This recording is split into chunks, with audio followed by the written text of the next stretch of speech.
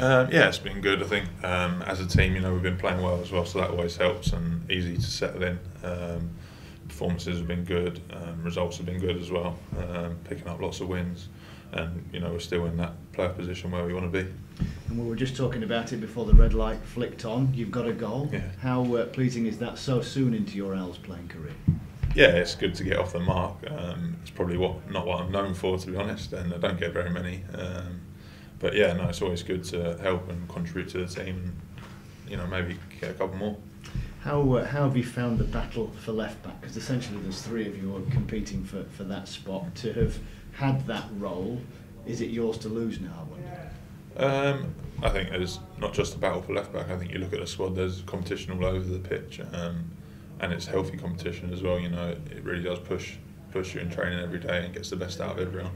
Um, whether it's mine to lose, you know, I think every day.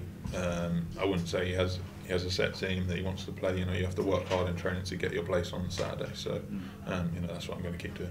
So uh, the next challenge is, is Aston Villa. You- You obviously played a Burton team the other day that seemingly were hell bent on, on defending. Fair play to them. What do you expect from, from Aston Villa?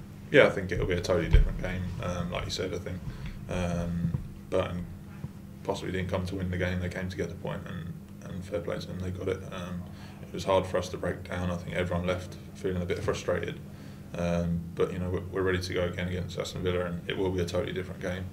Um, I think it'll be both sides just trying to play their football, uh, and we'll have to try and break them down.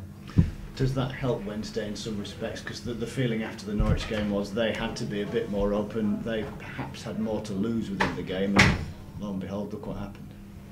Yeah, I think so. And um, you know, like I just said, Burton came with a we can't lose this game mentality rather than a right we can win this game. I think that was summed up with their corner in the 90th minute, um, where they didn't send anyone forward. So as opposed to that, it'll be a totally different game.